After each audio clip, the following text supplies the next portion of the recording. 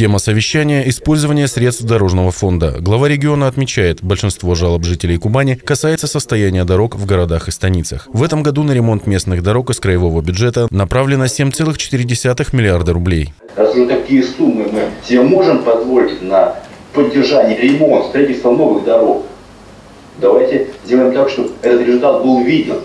Анапа названа в числе территорий, где, получив бюджетные средства, оперативно вышли на аукцион, определили подрядчика и отремонтировали дороги. Из Дорожного фонда Краснодарского края наш муниципалитет в этом году получил 121,5 миллиона рублей. В городе отремонтированы улицы Самбурова, Шевченко, Ленина, в селе Витязево, улицы Горького, Черноморская, Школьная, Степная и Объездная. Но потребность в ремонтах, конечно, сохраняется и высокая. Вениаминович, а добрый день. Скажите, пожалуйста, Вениаминович, 71 миллион, которые деньги сейчас не использованы, будут перераспределяться? Если вдруг будут перераспределяться, мы готовы поучаствовать и до ноября превратить их в асфальт. Глава региона готов поддержать тех, кто показывает отличный результат. Я согласен, вот это, знаете, на самом деле, вот это поощряйте тех, кто успели, умеет так работать. Тогда, на самом деле, давайте больше.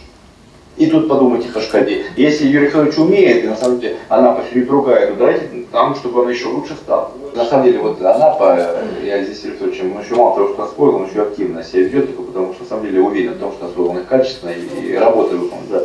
Поэтому и посмотрите, чтобы его увеличить, потому что все-таки Анапа это, это, это российский детский. И то, кто там не делается, делается и для жителей края, и для всей страны. В завершении совещания Юрий Поляков также поручил контролировать освоение средств, предусмотренных на строительство газопроводов. Как у нас идет освоение? Уже июнь месяц. И я уверен, что в ближайшее время, к августу, об этом поднимется тоже вопрос освоения денежных средств.